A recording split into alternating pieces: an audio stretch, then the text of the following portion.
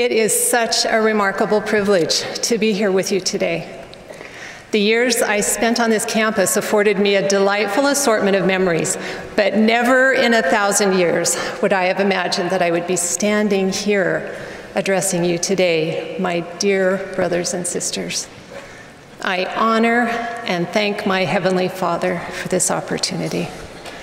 I had the sweetest and most distinct impression last week that my great great great grandfather and my great great great grandmother had something to do with my speaking here today. His name is Brigham Young, and his first wife's name is Miriam Works Young. It's good to have support from both sides of the veil.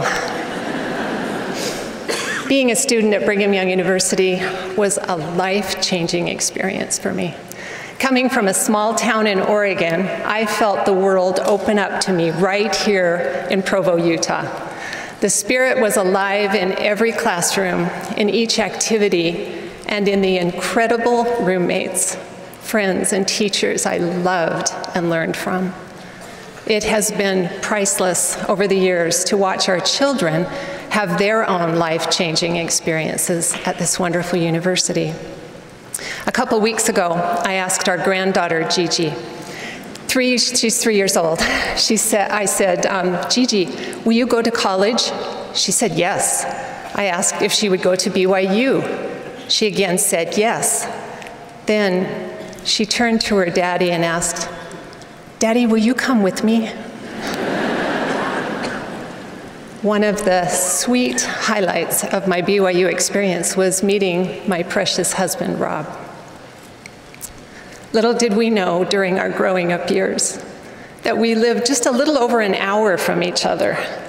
But we've all heard of BYU's reputation for bringing people together. And that reputation became our reality. Rob was called as my family home evening father, and the ward rules prevented us from dating that year. But as soon as he was released, we made up for lost time. We just celebrated our 44th anniversary. This dear man has put toothpaste on my toothbrush nearly every night of those 44 years. I know he's been tempted a time or two to surprise me with something else on my toothbrush, but he never has. Although life's not over yet, is it?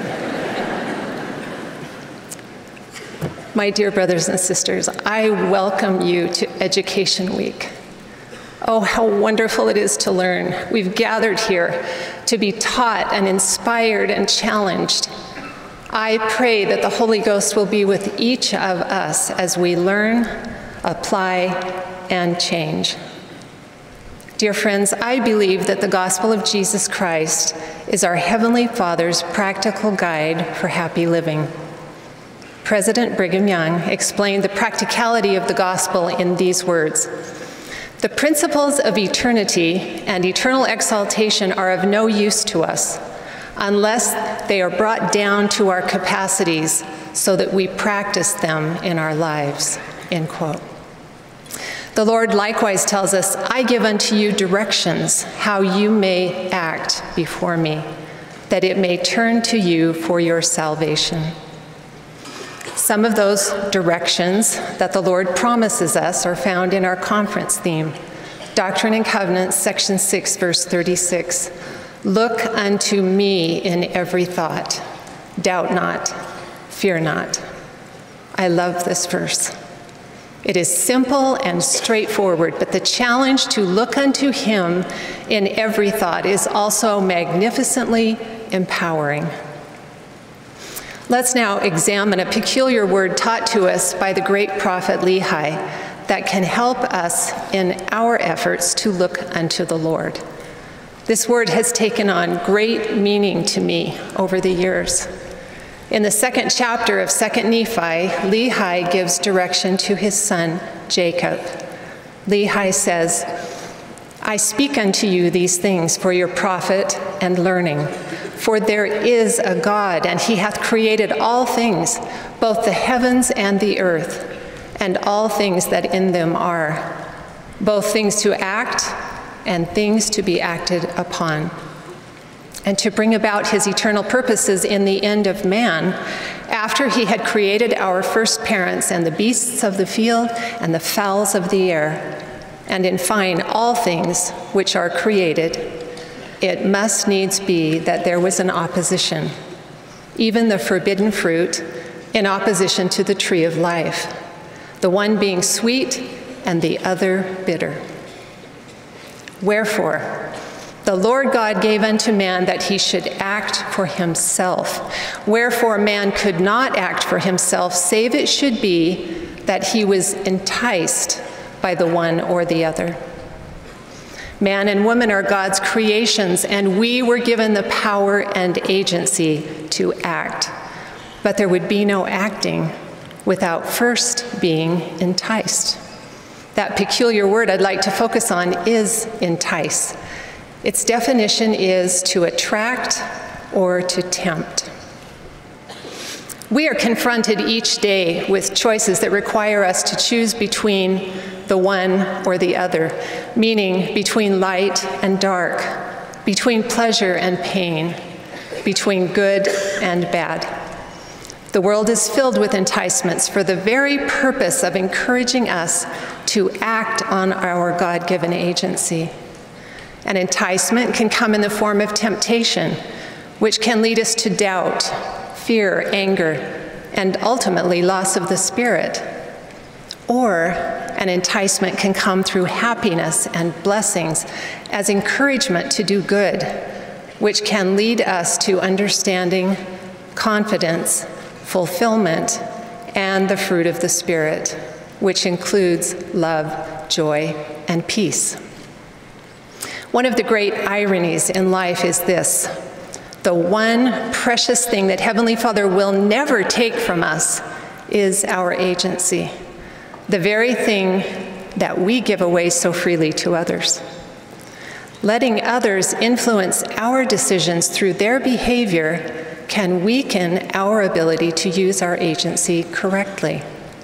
In fact, it can happen so frequently that we are not even aware what we are forfeiting. The Holy Ghost is our best protection. Elder Robert D. Hales explained if we ignore promptings, the light of the Spirit will fade. Our agency will be limited or lost, and we will lose the confidence and ability to act. End quote. In other words, we always have the privilege to choose but we can lose the ability to choose. Let me share with you a personal experience I had years ago. I was driving to the temple one lovely spring morning. I had my scripture CDs playing. The sky was this glorious blue. The birds seemed to be singing, Oh, how lovely was the morning, in four part harmony. And I was on top of the world as I drove down the street. It was just one of those rare, perfect mornings until I suddenly noticed a number of cars ahead of me being pulled over by the police. Before I knew what was happening, I saw flashing red and blue lights in my rearview mirror. I was caught in a speed trap, and I was guilty. My heart sank, my pride was dashed, and unfortunately, my biggest worry was that someone I knew would see me it was little consolation that I wasn't the only one being subjected to such humiliation from the tyranny of the local police. As the very kind officer finished writing out my ticket, he handed it to me and cheerfully directed, You have a good day, ma'am. have a good day. How could I have a good day? I was amazed at how quickly feelings of darkness, failure, and shame washed over me. My immediate thought was, how can I go to the temple now? I'm not worthy to be in the Lord's house. I turned my car around and began slowly driving toward home. My own thoughts were separating me from the Spirit.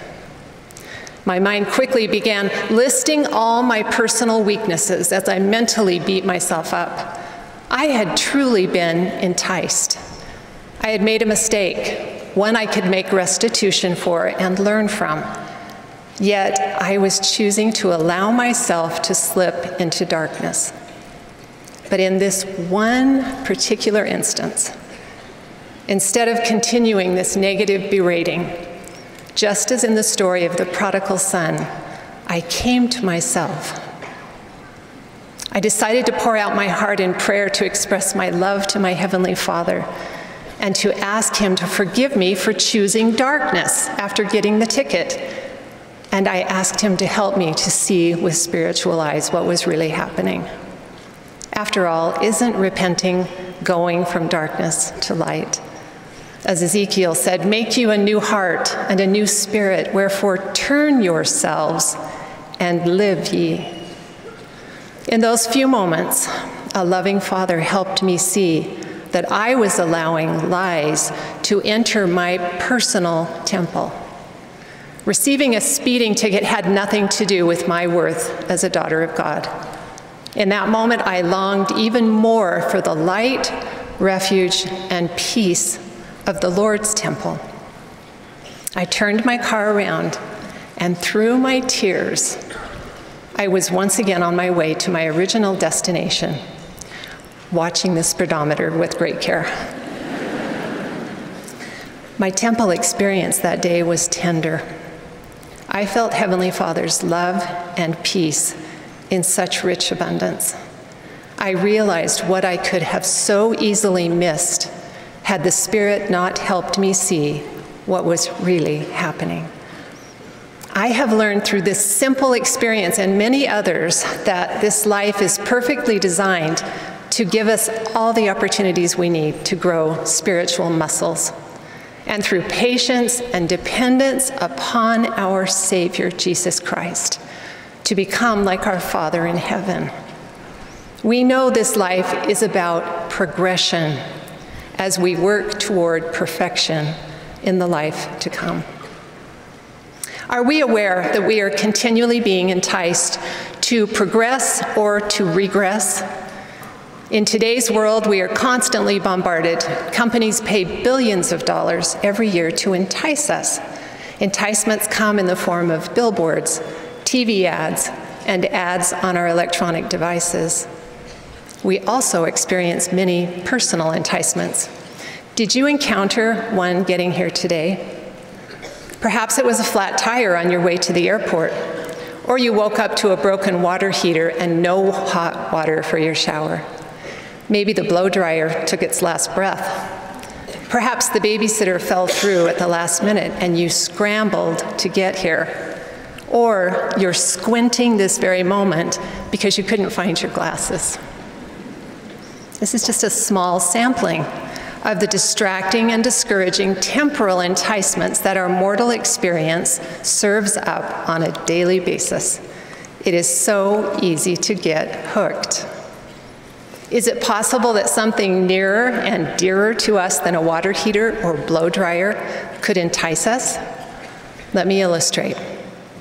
A woman was standing in the grocery checkout line watching a man in front of her with what looked like a two year old boy sitting in the shopping cart.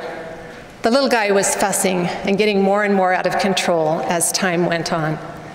Then she overheard the father whispering to his son, saying, Be patient, Billy. You can handle this, Billy. Just relax, and you can have your treat when we get out to the car.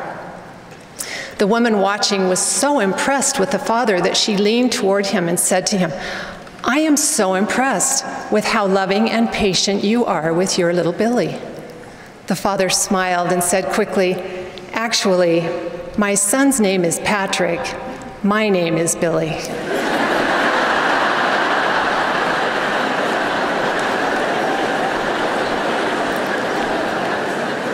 Even our children, a spouse, or a parent can be enticements. The people we love most can provide some of our greatest enticements and also our greatest opportunities for spiritual growth. As Lehi stated, there must be an opposition in all things. Life provides us daily opportunities to choose darkness or to progress spiritually as we practice responding to the influence of the Holy Ghost. Recognizing this, King Benjamin taught that we are to yield to the enticings of the Holy Spirit, and that to not do so is to exhibit the natural man, who is an enemy to God. Mormon, in some of his concluding statements in the Book of Mormon, explained, That which is of God inviteth and enticeth to do good continually.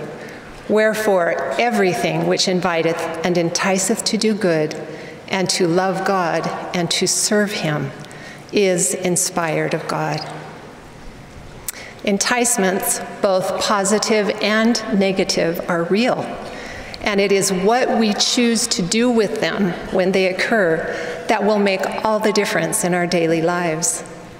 Can you be excited and motivated realizing that you can use every enticement to progress spiritually? Let's explore more enticements. What might entice you? Maybe it's chocolate chip cookies or food in general. Maybe other drivers on the road how about poor health? Maybe it's a friend or coworker. Could it be your teenager? The list could go on and on, couldn't it? Anything, as Lehi stated, can entice us into the light or into the darkness.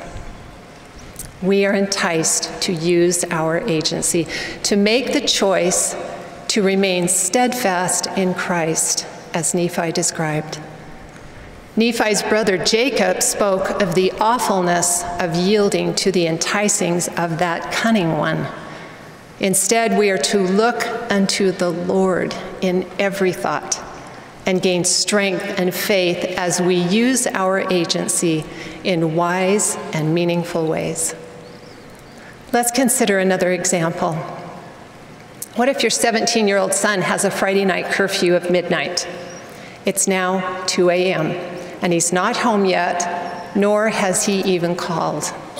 Would that entice you towards the darkness or the light? You and your spouse are both up, worried, doubting, fearing the worst. You say to yourselves, when he walks through that door, as time goes by, you feel the spirit being pushed away as angry or fearful thoughts envelop your mind. You are moving into darkness. Finally, you hear his car pull up in the driveway. You are both poised to pounce. The door opens and he walks in. Now what? In this moment, can you appreciate that this experience and so many others like it are perfectly designed for your spiritual growth? You have been enticed now you have the privilege of exercising your agency. It's your choice whether you will teach him a lesson with angry words or whether you will remember that this is all about your relationship with your son and your Father in heaven and your spiritual growth, no matter what your son did. Of course, there must be consequences for his behavior. But feeling and expressing sincere love is the most important thing in this moment, described in the scriptures as showing forth afterwards an increase of love toward him whom thou hast reproved, lest he esteem thee to be his enemy, that he may know that thy faithfulness is stronger than the cords of death. This is one of those critical moments that it could influence eternal relationships one of those opportunities to truly look unto the Lord in every thought. What if, before your son's arrival, you had chosen to pray in faith while waiting for him? How might that have changed your reaction when he walked through the door? Would the Spirit help you feel peace, sincere gratitude, and relief that he was safely home? Could you wrap your arms around him and sincerely tell him how much you love him? Two scriptures illustrate this point. The first is found in Romans 12 12, where the Apostle Paul tells the saints to continue instant in prayer. I love that. In other words, when an enticement comes, the first thing we can choose to do is pray and acknowledge our loving Heavenly Father. Is that not looking unto the Lord in every thought? I don't necessarily mean getting down on our knees. We may not have that option. I am suggesting talking to the Lord instantly, as Paul says, wherever we are, and about whatever enticement has confronted us. A second scripture that can help us remember to pray when tempted or enticed is Doctrine and Covenants, section 59, verse 7. Thou shalt thank the Lord thy God in all things. This verse doesn't suggest that we thank him for only the good things that occur in our lives. We are being taught to thank the Lord in all things, even in the enticing moments that challenge and stretch us. We can practice, brothers and sisters, throughout the day, looking unto Him in instant prayer and gratitude. It is also instructive to recognize who wants us to give in to enticements as he tempts us to become impatient, frustrated, doubtful, fearful, or angry.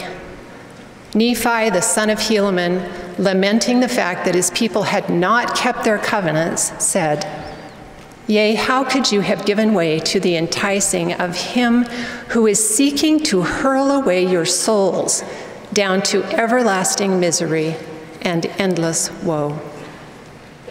Brothers and sisters, inherent in every enticement to do wrong is a spiritual growth opportunity to do right there's no doubt a reason James wrote, My brethren, count it all joy when ye fall into many afflictions. Count it all joy? Yes, joy. Every enticement can be a blessing to us if we allow it to be. I believe the key to transcending a negative enticement is to begin praying as soon as we recognize what is happening. As we pray, the Holy Ghost will influence us because we receive the Spirit through prayer. Sometimes we will have the opportunity to experience multiple enticements, one after the other, or several at the same time. Some of you, in this very hour, may be in the middle of serious adversity or trial, which can be an enticement magnified. We must have the courage to continue in faith and hope in our Savior, Jesus Christ, and not be overcome. Every single prayer is heard by our loving Father in heaven. Doubt not, fear not. Despite the resulting challenges, spiritual change and strength are what we are all seeking. As our beloved prophet, President Russell M. Nelson, has counseled, the wise use of your freedom to make your own decisions is crucial to your spiritual growth, now and for eternity. Each day brings opportunity for decisions for eternity. End quote. What I refer to as Nephi's bad day illustrates well decisions for eternity. Nephi was commanded to build a ship. Did his older brothers go along with his idea? No, they called him a fool, complained to him constantly, and wouldn't help. When Nephi was discouraged, they rejoiced to his face and said, We knew you couldn't do it. What a wonderful example of an enticement. But it didn't stop there. Nephi eventually accomplished his assignment from the Lord, and the family set sail. Not long into the trip, Laman and Lemuel began to forget the Lord once again and turned the ship into a party boat with the sons of Ishmael and also their wives began to make themselves merry, insomuch that they began to dance and to sing and to speak with much rudeness. Yea, even that they did forget by what power they had been brought thither. At this point, surely Nephi's great concern was the Liahona, the compass or spiritual GPS that the Lord had provided for them. It worked only when they heeded the Spirit. Nephi told them to keep the partying down, which of course angered them even more. Nephi, humbly understating the circumstances, said, And they did treat me with much harshness. So tight were the cords they bound on his ankles and wrists that they were swollen exceedingly. Was Nephi enticed? Imagine the emotions felt in this circumstance. Nephi's wife was in tears, but she was praying. Nephi's children were crying. Outside, a great storm arose, and all were about to be swallowed up in the depths of the sea. Nephi's parents were so weighed down by the behavior of their rebellious sons that they were brought down to their sick beds, nigh unto death. I hope you can sense Nephi's predicament and the emotion that this scene must have created in him. All this was happening while he was tied up and unable to move. What a perfect seedbed for doubt and fear. So, what were his choices? He could be angry. He could fear for their lives. He could give up. He could forsake his faith. Or he could remain steadfast in Christ by continuing instant in prayer and thanking God in all things, prayer and praise. In one very meaningful verse, Nephi explained how he endured well the multiple enticements that were besetting him. Nevertheless, I did look unto my God, and I did praise him all the day long, and I did not murmur against the Lord because of mine afflictions. Eventually, Nephi was loosed. The compass began to work again, and they all made it safely to the promised land. My question is this Could Nephi have succeeded had he not prayed and praised God all the day long? I don't think so. He remained spiritually focused through the entire ordeal, and then miracles happened. Brothers and sisters, enticements in our daily lives are inevitable. How we view them makes all the difference. Many years later, Nephi's brother Jacob counseled us to contemplate these truths when he said, Therefore, cheer up your hearts and remember that ye are free to act for yourselves, to choose. When enticements come, and they will, Jacob is effectively saying, Be happy. You have agency, and you can choose your reaction to everything coming your way. Whether it's the bad driver in front of you, the teenager coming home after curfew, the police officer giving you a ticket, the bills piling up and coming overdue, the pneumonia that just won't go away, the rebellious big brothers who treat you terribly, the spouse who won't understand your situation, the washing machine that just quit working, or your daughter who just flunked her history test because she seldom attended class. They are all there for our spiritual growth if we can see them for what they really are and then be grateful. Obviously, we cannot completely control the events that come at us daily, but we can indeed control the worthwhileness of these events. We worship an omniscient God and know that all things wherewith you have been afflicted shall work together for your good and to my name's glory, saith the Lord. Let's examine for a moment an experience from the life of Paul. He and his companion Silas, while preaching the gospel to the people of Macedonia, were beaten with stripes and thrust into jail. The jailer put them in the inner prison and bound their feet in stocks. I'm sure that you would agree that Paul and Silas encountered a challenging enticement. They were faced with a choice. Would they take the natural man route and complain to the Lord and wonder why they weren't warned of this danger? After all, weren't they doing His work?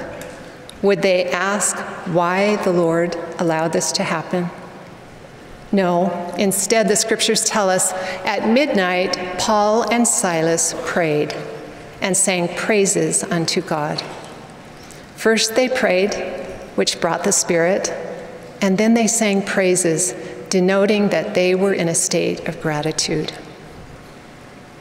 This scriptural illustration begs the question Do you think that Paul and Silas felt like praying and singing when they were thrust into the inner prison? Perhaps not. But they transcended the adversity in which they found themselves and remained faithful to the Lord. And what was the outcome of their faithfulness? We've all seen that beautiful picture. The next verse tells us, And suddenly there was a great earthquake, so that the foundations of the prison were shaken. And immediately all the doors were opened, and everyone's bands were loosed. Remember the words of the Lord to the prophet Joseph Smith after Joseph arrived in Jackson County, Missouri. Ye cannot behold with your natural eyes for the present time the design of your God concerning those things which shall come hereafter, and the glory which shall follow after much tribulation. For after much tribulation come the blessings. End quote. Enticements, tribulations, and tests, when endured well, are followed by blessings. As we see negative or evil enticements with our spiritual eyes, we can receive the power to overcome them. That is one of the blessings. The challenge and opportunity of our lives, then, is to be steadfast in Christ by practicing rising above enticements and adversities. This leads us to President David O. McKay's profound definition Spirituality, our true aim, is the consciousness of victory over self. Spirituality impels one to conquer difficulties and acquire more and more strength. End quote. As I have reflected on my, my simple little experience of the ticket on the way to the temple, I recognize I had two choices I could keep up my shield of faith, chalk it up to experience, learn from it, and continue on my way to the temple. Or I could let the police officer and the ticket ruin the rest of my day. In choosing the latter, I would have said, in effect, to the officer, Here, sir, here's my agency. I give it to you freely. Now you control me and all my emotions. I now choose to have a lousy day. I earlier referred to Nephi's life and how his brothers treated him. Let's add his commentary given years later when perhaps he looked back on those events. Let's read his reactions to the adversities, temptations, and enticements in his life that did so easily beset him. Why should my heart weep? and my soul linger in the valley of sorrow, and my flesh waste away, and my strength slacken because of mine afflictions. Yea, why should I give way to temptations, that the evil one have place in my heart to destroy my peace and afflict my soul? Why am I angry because of mine enemy? Could it be that Nephi's peace was occasionally destroyed by the behavior of his brothers? Did he ever view his brothers as his enemies? Nephi continues as if a major epiphany has occurred, and he seems almost to shout, Awake, my soul! No longer droop in sin. Rejoice, O oh my heart, and give place no more to the, for the enemy of my soul. Do not anger again because of mine enemies. Do not slacken my strength because of mine afflictions. By following the promptings of the Spirit and looking to the Lord, Nephi overcame and grew in spirit and in power. He experienced tests and trials as well as the blessings that followed.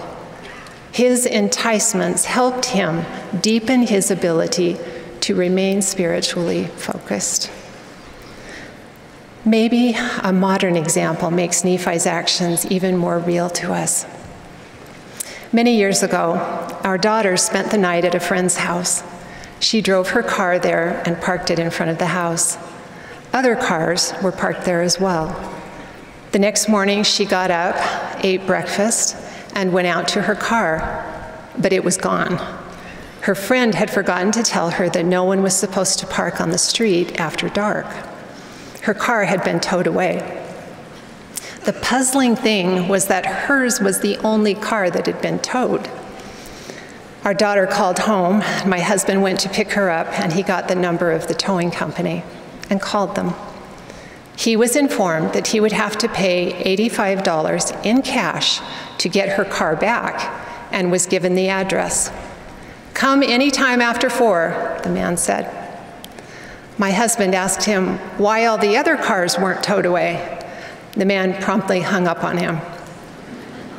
We felt we had been wronged and certainly treated unfairly. We were upset, yes, even greatly enticed. We had to wait nearly four hours to retrieve the car. During that time, my husband was preparing a lesson for priesthood meeting. Listen to the interesting excerpt he studied from the President John Taylor Manual as he was preparing that day. If men, by taking a wrong course, act imprudently and seek to injure us, shall we seek to injure them?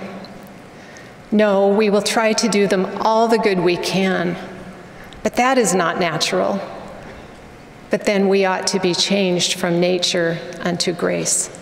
If there be trouble existing between me and anybody else, I would meet them halfway. Yes, I would meet them three quarters or even all of the way.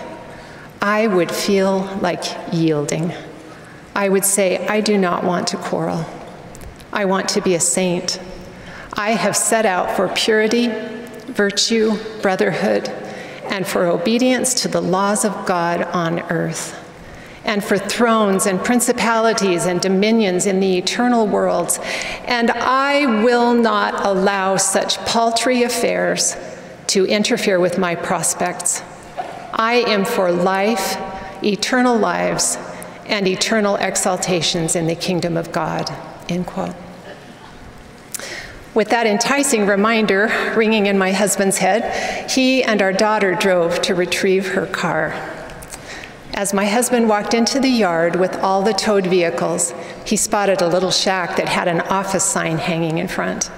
A long haired gentleman in overalls stood there, looking as if he was waiting for a great verbal altercation. Our daughter stayed behind, not wanting to witness the probable confrontation.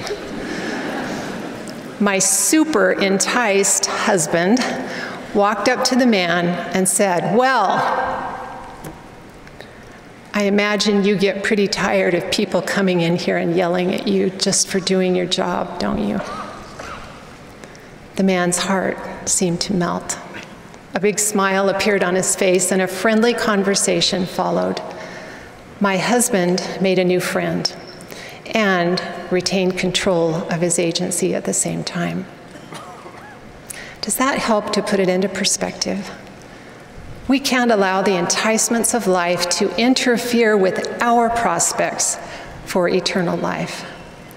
We must learn to rise above them, turning to the Lord and looking unto Him in every thought. Isn't that one step toward spiritual refinement? The prophet Joseph Smith taught us magnificently throughout his life of that gradual spiritual refinement. The Lord told him he would triumph not if he endured, but he would also need to endure it well. Toward the end of the prophet's life, he said, As for the perils which I am called to pass through, they seem but a small thing to me. But nevertheless, deep water is what I am wont to swim in. It has all become a second nature to me, and I feel like Paul to glory in tribulation. End quote. None of us will go through what the prophet Joseph Smith went through in his life, but we do encounter enticements every single day, don't we? It is what we do with those enticements that prepares us for the adversities that come in our lives. Enticements are the practice round for when the great adversities come. I am grateful for the perfect examples from our Savior's life. With the Son of God standing before him, Pilate asked Jesus, Whence art thou? Jesus remained silent. Then saith Pilate unto him, Speakest thou not unto me? Knowest thou not that I have power to crucify thee and have power to release thee?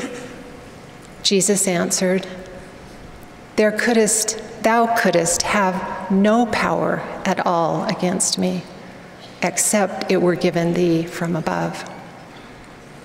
Jesus calmly reminded Pilate, who was really in control of the situation.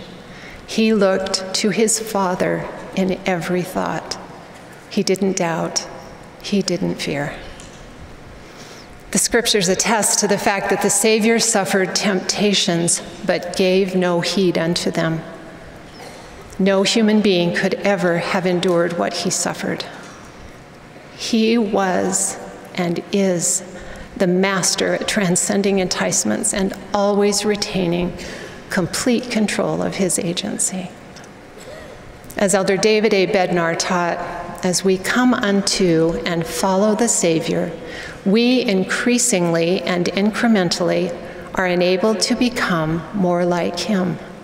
We are empowered by the Spirit with disciplined self restraint and a settled and calm demeanor. Thus, meek is what we become as disciples of the Master. End quote. Brothers and sisters, each enticement has potential value for us, just as Elder Neal A. Maxwell reminded us. Therefore, how can you and I really expect to glide naively through life as if to say, Lord, give me experience, but not grief, not sorrow, not pain, not opposition, not betrayal, and certainly not to be forsaken? Keep from me, Lord, all those experiences which made thee what thou art. Then let me come and dwell with thee and fully share thy joy. End quote. We can rejoice with each adversity, even the smallest one, because we can use it to help us remain spiritually focused upon the glory that is yet to come. President Brigham Young explained when God is calling us to pass through that which we call afflictions, trials, temptations, and difficulties. Did we possess the light of the Spirit, we would consider this the greatest blessing that could be bestowed upon us. End quote. As we make a daily effort to overcome our enticements and put off the natural man, we begin to experience greater control in our lives. The little things don't bother us as much because we see them for what they really are opportunities to use our agency to turn to our Heavenly Father and to become as He is. My dear friends, I testify to you that the gospel of Jesus Christ is not a theory. It is not a group of unproven assumptions. It is not conjecture nor speculation. It is not unlivable. It is based on the doctrines and principles of the Son of God. When we follow his teachings, we are happy. When we do not, we reap sadness. As Jesus explained, if ye know these things, happy are ye if ye do them. Simply put, the gospel of Jesus Christ works. I challenge you this week and beyond watch for those enticements. Treasure and protect your agency, and look unto Him in your every thought. Brothers and sisters, let us heed current prophetic counsel. As President Nelson urged, our focus must be riveted on the Savior and His gospel it is mentally rigorous to strive to look unto Him in every thought. But when we do, our doubts and fears flee. End quote. I testify to you, my dear brothers and sisters, that Jesus Christ lives. He loves us, and He invites each of us to come unto him. In the sacred name of Jesus Christ, amen.